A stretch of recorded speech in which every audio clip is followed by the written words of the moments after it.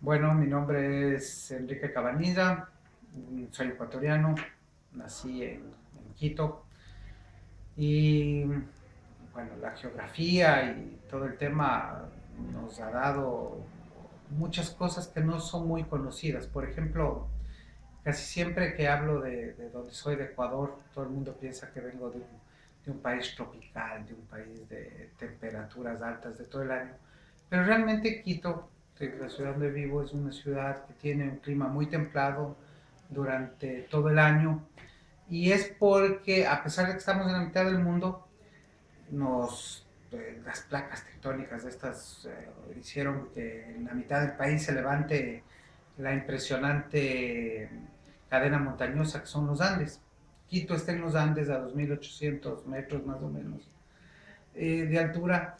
Y claro, eso nos condicionó la vida, no solo la forma de hablar, pues, también la forma de vestirnos, lo que comemos, eh, también nos condicionó nuestra, nuestra vida social, y, también nos dio como país una diversidad muy grande.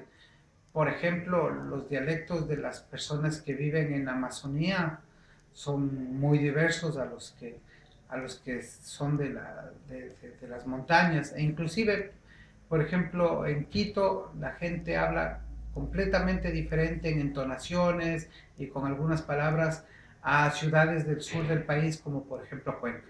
Y ni hablar de la gente de, la costa, ¿no? La costa, los, las personas que están cerca del mar tienen otras palabras, otra jerga, otro lunfardo, otra manera de expresarse. Y eso pues ha sido un, una cosa muy interesante porque uno ve que el lenguaje es también parte de la identidad, es la manera como hablamos y, y mi ciudad y la región donde nací me dio, me dio esta manera, ¿no? me dio esta manera de, de las R's rasgadas o me dio también esta forma de como un español muy muy pulido, ¿no? muy, muy concienzudo al momento de hablar, que, que difieren en, en, mi mismo país de otras circunstancias. Realmente disfruto de, del idioma, disfruto del español.